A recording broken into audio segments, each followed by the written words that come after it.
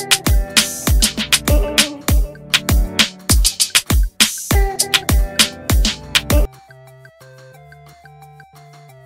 มนาสติกตั้งกฎเหล็กเข้มแต้มต่ำกว่า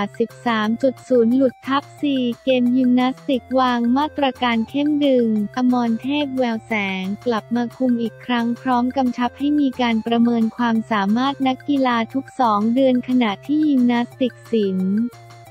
หากคะแนนต่ำกว่า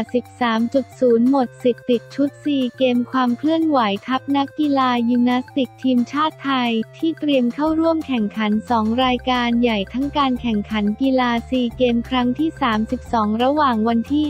5-17 พฤษภาคม 2566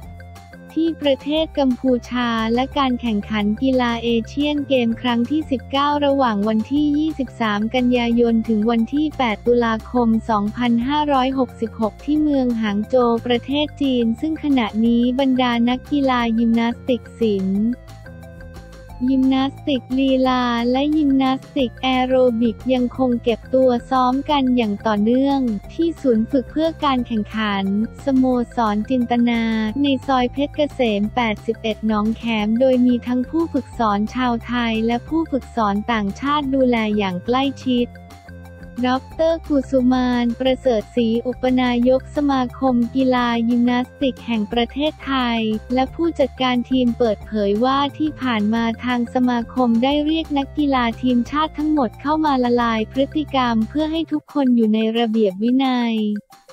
พร้อมกันนี้ได้ดึง โค้ชหมู อมรเทพแวว แสงกลับมาคุมเข้มนักกีฬายิมนาสติกสินอีกครั้ง เนื่องจากเชื่อมั่นในเรื่องของระเบียบวินัย รวมถึงในเรื่องจิตวิทยาที่รุ่นพี่ถ่ายทอดสู่รุ่นน้อง ทำให้ประสบความสำเร็จในการแข่งขันซีเกม ครั้งล่าสุดที่ประเทศเวียดนามขณะเดียวกันทางสมาคมเตรียมส่งสสิวิมลเมืองพวนเดินทางไปแข่งขันยิมนาสติกสิงห์หญิง ชิงแชมป์โลกระหว่างวันที่ 25 ตุลาคมวันที่ วันที่ 6 พฤศจิกายน 2565 ที่เมืองลิเวอร์พูลประเทศอังกฤษทั้งนี้นอกจากเป็นการสร้างผลงานและชื่อเสียงของประเทศแล้ว ยังจะเป็นการวัดศักยภาพเพื่อต่อยอดสู่การแข่งขันกีฬาเอเชียนเกมที่ประเทศจีน ในปลายปีนี้อีกด้วยส่วนการเตรียมความพร้อมสำหรับการแข่งขันกีฬาซีเกมส์ เนื่องจากครั้งนี้เจ้าภาพกัมพูชาได้ตัดยิมนาสติกศิลป์หญิง และยิมนาสติกลีลาทำให้เหลือการแข่งขันยิมนาสติกศิลป์ชาย และ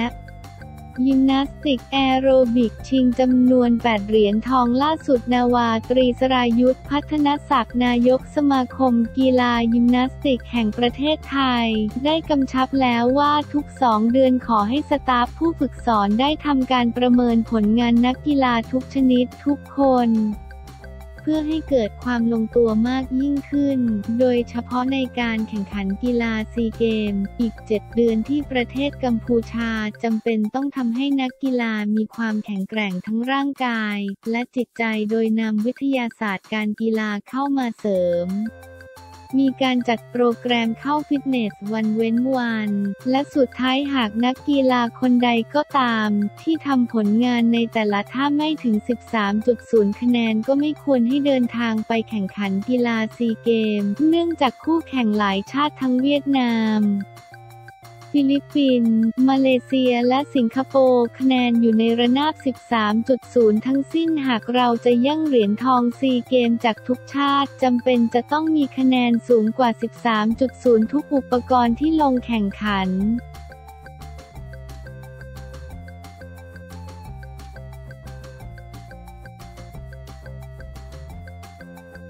ด่วน ลุงบุกชกทำร้ายศรีสุวรรณขณะร้องตำรวจเอาผิด โน้ตอุดม ปมเดี่ยว 13 ด่วน ลุงบุกชกทำร้ายศรีสุวรรณขณะร้องตำรวจเอาผิด โน้ตอุดม ปมเดี่ยว 13 เผยนี่คือการตบสั่งสอน เพราะนายศรีสุวรรณร้องทุกเรื่อง เมื่อวันที่ 18 ตุลาคม 65 ที่ศูนย์รับแจ้งความกองบัญชาการตำรวจสอบสวนกลาง นายศรีสุวรรณจันยาเลขาธิการสมาคมองค์การพิทักษ์รัฐธรรมนูญไทย เดินทางมาร้องเอาผิดกับโน้ตอุดมในกรณีพูดในเดี่ยว 13 และพาดพิงถึงพลเอกประยุทธ์จันโอชานายกรัฐมนตรีและบางถ้อยคำของโน้ตอุดม เข้าข่ายยุยงส่งเสริมให้ประชาชนออกมาชุมนุมและกระทำความผิด ระหว่างที่นายศรีสุวรรณกำลังให้สัมภาษณ์กับผู้สื่อข่าวอยู่นั้น นายวีรวิทย์รุ่งเรืองสิริผลประชาชนที่ยืนฟังนายศรีสุวรรณให้สัมภาษณ์อยู่ ได้ถามนายศรีสุวรรณว่าหลังจากสารรัฐธรรมนูญวินิจฉัยแล้ว เห็นนายศรีสุวรรณบอกจะดำเนินคดีกับคนที่ออกไปชุมนุมซึ่งคำถามนี้นายวีรวิทย์ตรงเข้าไปทำร้ายนายศรีสุวรรณทั้งชกและเตะนายศรีสุวรรณ ท่ามกลางความตกใจและแตกตื่นของผู้สื่อข่าวที่กำลังสัมภาษณ์ จากนั้นนายวีรวิทย์มาพูดกับนายศรีสุวรรณว่า นี่คือการตบสั่งสอน เพราะนายศรีสุวรรณร้องทุกเรื่อง แต่อีกฝ่ายกลับไม่ร้องให้ตรวจสอบด้วยทำให้นายศรีสุวรรณต้องหลบไปเข้าไปพบตำรวจด้านใน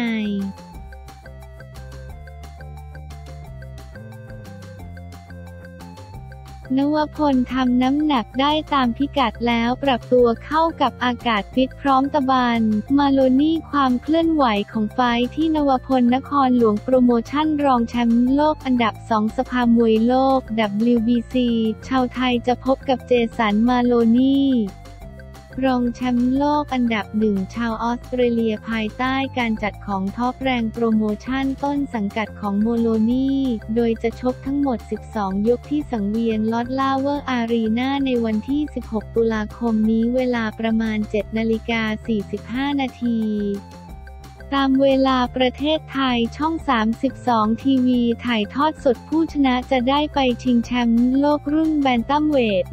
118 ปอนด์ สภามวยโลก WBC ต่อไป เสียหุย สุรชาติพิสิทธิ์วุฒินันเจ้าของค่ายนครหลวงโปรโมชั่นเปิดเผยว่านวพล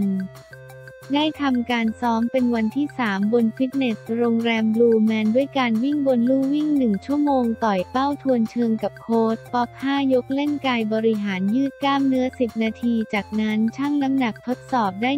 118 ปอนด์พอดี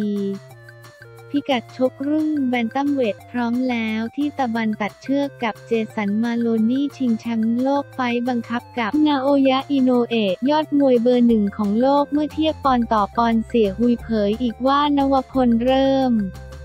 ปรับตัวเข้ากับเวลาที่เร็วกว่าเมืองไทย 4 ชั่วโมง และสภาพอากาศของออสเตรเลียที่แตกต่างจากเมืองไทย ลดลงมาเหลือ 10 องศาเซลเซียสได้แล้ว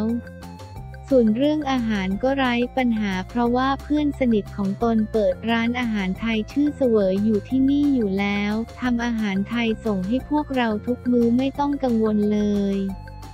โดยเฉพาะนวพลก็ยังรับประทานได้อย่างอร่อย เพราะอาหารถูกปากเหมือนอยู่ที่เมืองไทย ดูเขามีไฟแรงมากทำให้สบายใจขอให้แฟนมวยชาวไทยไม่ต้องห่วงสำหรับสถิติการชกของนวพลนครหลวงโปรโมชั่นต่อยมวยอาชีพ 58 ไฟชนะ